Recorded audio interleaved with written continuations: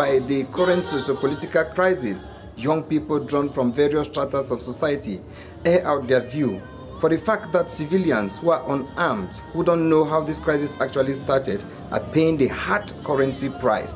They are dying every blessed day.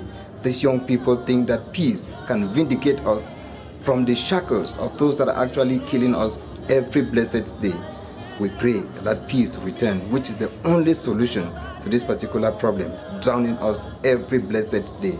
Lives have been lost, properties and jobs taken away from us. We think that peace can come and solve this problem. Dirt and bread have become too close.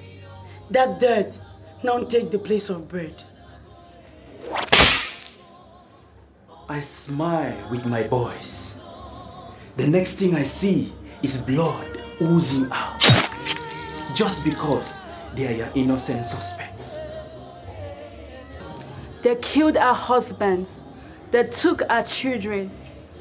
And they defied us. Do not take advantage of this mishap to defile a woman.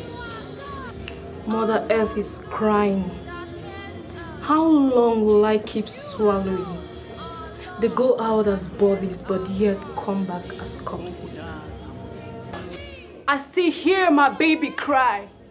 It hurts me that I can't reach out because the distance between my baby and I is dead.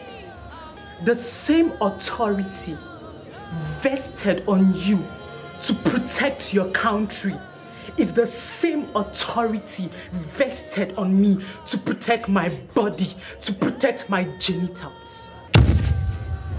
The gunner goes free. My people pay for the shots.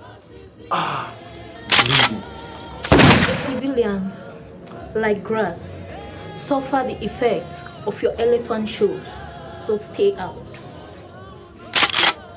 Wearing an armor, holding a pistol is strength, not cowardice. Put the guns down, build your guts, and talk. Stop the war. Together, let's keep peace.